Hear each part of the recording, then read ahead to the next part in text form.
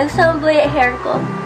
Ayan, ang ganda ng hair ko. Tingnan niyo sa natural lighting, oh. Ay, hindi pala to natural lighting. Pero, ibang lighting kasi to, oh. Diba, red na red siya. Ang ganda.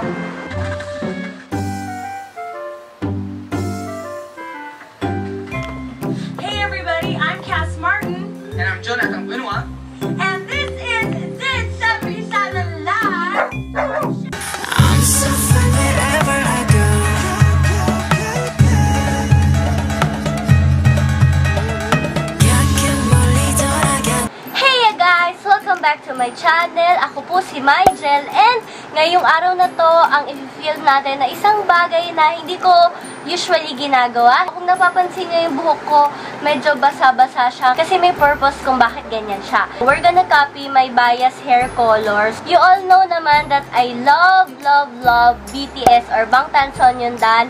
Isa po yung K-pop group and it's a boy group na ngayon it dominates the world na talaga. Alam naman natin na yung K-pop or mga Korean pop idols, nag-iiba-iba sila ng hair.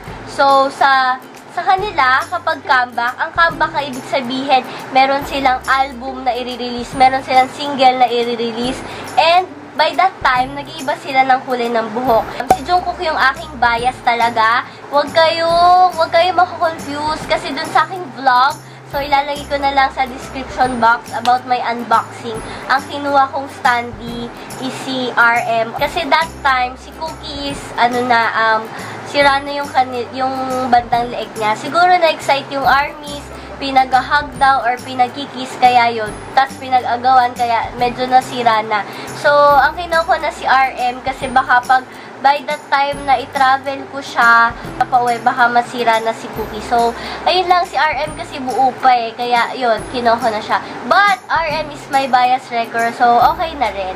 Kaya ngayon, gagayain natin yung buhok ni Jungkook. Si Jungkook yung pinakabata sa kanila, sa BTS, and siya yung pinaka-main vocalist. Kaya ko siya nagustuhan kasi talented siya and um, kaya niya lahat, kaya niyang gawin lahat. Ang tawag sa kanya is Golden Maknae. Ibig sabihin nun sa Korean yung pinakabata sa kanila. So, yun lang. Ang gagamitin natin ngayon na pangkulay is ano, washable siya. So, ibig sabihin hindi siya permanent. Shop style, colored hair wax. So, yan. Excited akong gamitin yung purple kasi medyo gusto ko yung kulay ng purple sa hair ko. And na nagpa-purple talaga ako before.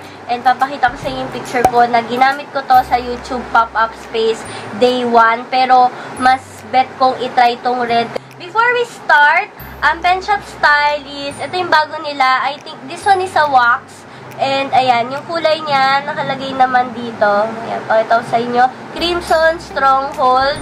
Uh, mukha na siyang luma kasi ginamit na to na mother. And so, with moisturizing vitamin E and jojoba, easy wash. So, dito sa kanyang takip, ayan, nakalagay yan. Tapos, meron din dito sa kanyang side. So, standout look, easy rinse styling formula with moisturizing vitamin E and the jojoba for hair and scalp nourishment. 4 out of 5 and shine is 2 out of 5. Isang tub nila is 80 ml ang laman.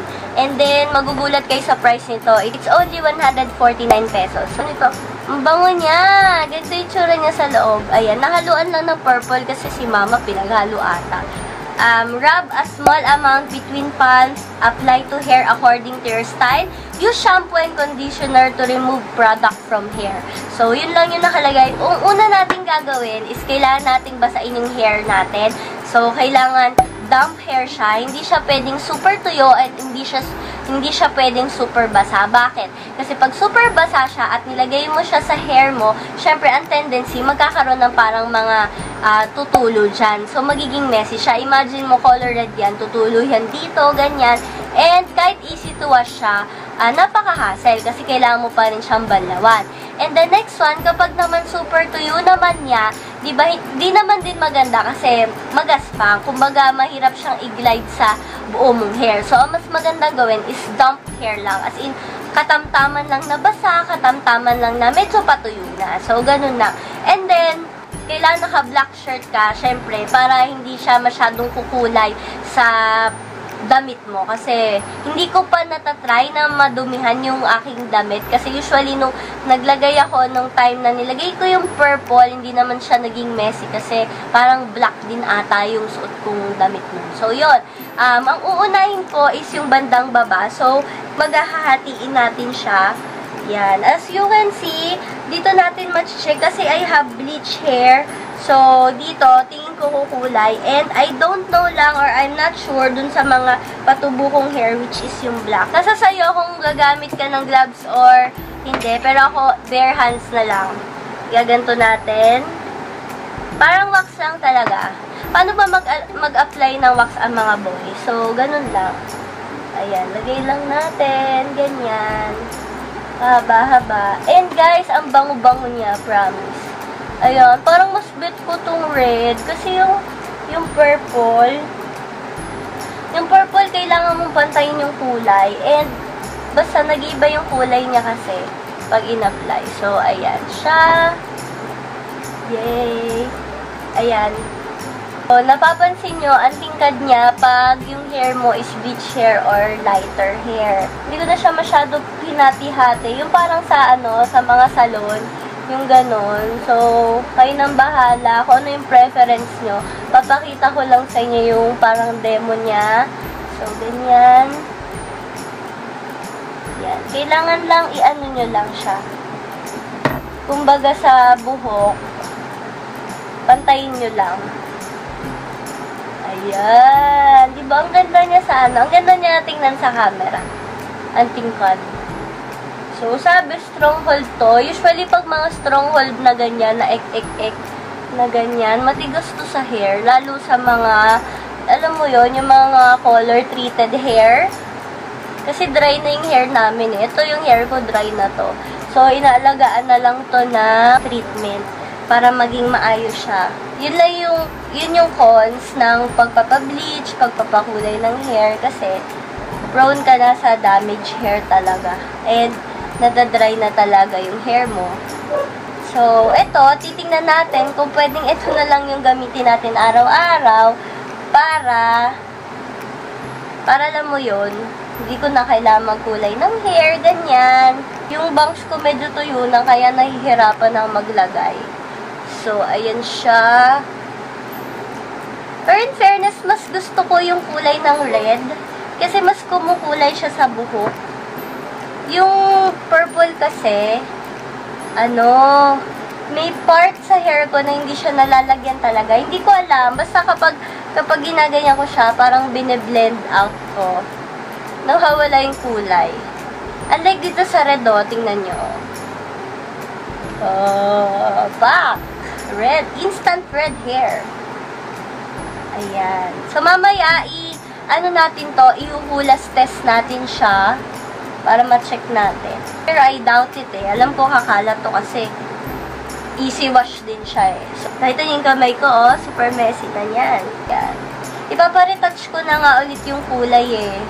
Last time kasi ang kulay nito is ano, ash blonde. Tapos yan, nag-fade na. Madali kasi mag-fade yung mga ganong kulay.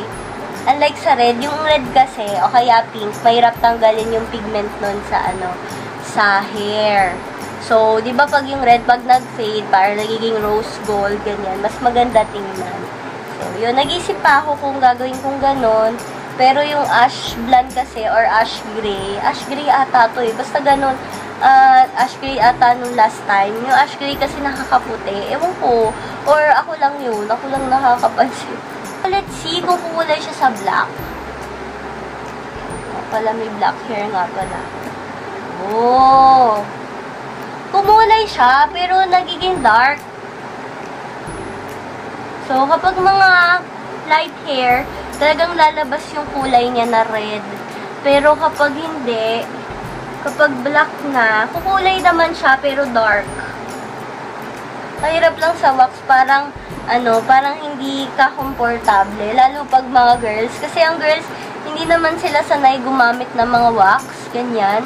Medyo nahirapan ako sa part na black kasi hindi siya tulad nito, oh, dumidikit siya agad. Pag black, ang hirap kasi i-blend. And, hindi mo siya masyado kita. Ayan. So, guys, ito na yung kanyang finished product and look at my hands. Ayan. So, ibig sabihin, huwag ka masyadong hawak ng kahit ano kasi tingnan mo, oh, kumakala talaga siya. Ayan. Messy talaga. Part na leg ko dito nalagyan din. Ayan, no. Expect yun na, na matigas talaga siya sa hair. And then, lalo sa mga dye hair or mga color treated hair, magiging matigas siya na ganyan. Pero, pag ginaganto ko naman siya, ang lambot naman niya hawakan. Siguro dahil medyo basa-basa pa siya, kaya, ayan, medyo kaya pa siyang iganyan. Hindi siya mabigat sa pakiramdam, lightweight naman siya, na parang wala ka naman nilagay. Yun nga lang, alam mo na, alam mo na medyo matigas yung hair mo. A typical feeling of having a wax na alam natin na stronghold, ayan, ganun yung feeling naman niya. So, ayun, ayan, ayan, nagkamutaw na ilong, kasi ng ano, side na ilong ko, ayan, kumalat siya. Papakita ko na lang sa inyo yung color gray. Meron pala kaming gray. Ito naman sa kapatid ko. Alinis pa niya. Siguro hindi niya masyado ginagamit. Ito yung kulay niya, color white naman. Nakikita ko dito, napakaganda nito. If ever meron ka mga events na pupuntahan, like ngayon, malapit na yung Halloween. Kung gusto mo mag-iba ng hair na hindi ka gumagamit ng wig, pwede naman. Kasi usually, may nabibili tayo, lalo yung mga mumurahing wig na medyo ah, makintab na. So, yung mga makikintab na wig, Ah, hindi ko masyadong bet yon Mas bet ko yun talagang parang human hair. Kaya lang, medyo mahal yon So, kung ayaw mo naman ng ganon, kung ayaw mo naman super na gumastos, pwede ka naman bumili nitong hair color na lang. Instant lang talaga siya. And ikulay mo lang siya sa buhok mo ng ganyan. Ayun na, medyo kakain lang siya ng mahabang time. So, dapat yung preparation mo medyo mas matagal. So, yon medyo hassle lang yung time. Kung nagmamadali ka, hindi mo talaga magagawa. And then, as you can see, ang sabi naman sa description is washable siya. So, paano yung mga, yung mga clients natin or paano tayo mga, mga Zumba instructor na nagtuturo ng Zumba na gusto natin magkulay ng hair? No choice tayo. Kailangan talaga natin magpakulay. Yun lang naman is kung preferred nyo na iba-iba yung kulay ng hair nyo. Like ako, gusto kasi ng ganon. Pero yung gagamit ako ng ganito, siguro may part lang ng hair or may strands lang. Bawa ganyan lang, kadami, highlights lang. Kasi, ma madali ako magpawis. Pag nagpawis ako, kasama na yung buhok. So, alam ko na magwa-wash off yon So, baka dito magka-stain-stain na ako. Nagtuturo ko, meron ako mga stain-stain dyan. Hindi nga humulas yung makeup ko, pero yung buhok ko kumulay. Depende sa activity mo, kung gagala ka lang naman, and or mag-Halloween party ka na hindi naman ma-involve yung medyo mababasa yung hair mo, or magsusweat ka, or mapapawisan ka, uh, pwede-pwede talaga to. And then, napakamura nito. It's 149 pesos lang. Uh, actually, guys, mas preferred ko to kaysa dun sa ini-spray. Kasi yung ini-spray, hindi mo siya kontrolado. Pag, pag ini-spray mo siya sa hair mo, di ba, kailangan medyo may inches or kung gaano kalayo man siya. And then, minsan, pati yung likuran, nalalagyan mo ng ano, nalalagyan mo ng kulay, ganyan. So, mas kontrolado mo to. And yung hairspray, nakapag-try na pala ako nun, guys. Yung hairspray kasi, uh, yun talaga, matigas talaga siya sa buhok. Kasi nga, hairspray siya. Unlike this one, medyo mas malambot siya kahit papano. Ayan, sana na-achieve natin yung pagkopya natin ng buhok ni Cookie. And pwede na akong sumayaw ng idol, ganyan. So, ayan guys. Tinry ko na mag-zumba and ayan na yung nangyari. Diba sabi ko sa iyo, disaster talaga siya. Hindi talaga siya pwede pag, ayan o. Oh. See? Oh, sinot ko pa white shirt para mas lalo makita nyo. Diba? So, ayan. Yan. Hindi siya masyado applicable talaga if ever mayroon ka mga Zumba class or may mga Zumba event na atenan tapos maglalagay ka ng colored hair. Siya, yan o, nagkaroon ng tulo sa may lapag. Yan, nagkaroon ng tulo. Yung pawis mo naging color red. Medyo ligwak siya sa hulas test natin. Kung ganito ka lang naman magpapawis, ba? So, sobra-sobra ka magpawis. Or pwede, ang gawin mo, maglagay ka ng para dito mga panyo. Yan sa bandang sa bandang ulo para hindi masyado or para don para ma-absorb na panyo yung kulay para hindi siya kumalat sa mukha. Guys, meron lang ako napansin na medyo um, hindi ko masyado nagustuhan dito sa dito sa hair wax na to is meron siyang methyl paraben and propyl paraben. So, for me, ayoko talaga ng mga products na meron ito. Pero, naman siya lagi gagamitin. Okay na naman siguro. Ang purpose naman kasi ng paraben is para ma-prolong niya yung mga products para hindi siya ganon mabilis masira or ma-expire. Sana nakatulong sa inyo itong tutorial or review na to about sa Pen Shop Style Colored Hair Wax. So, makita-kita ulit tayo. Please subscribe and hit the notification button dyan sa baba para ma-notify po kayo if ever meron ako mga bagong videos. And yun, makita-kita po ulit tayo. Always remember, don't worry, be happy, stay gorgeous. Annyeong, fish yo! Meow!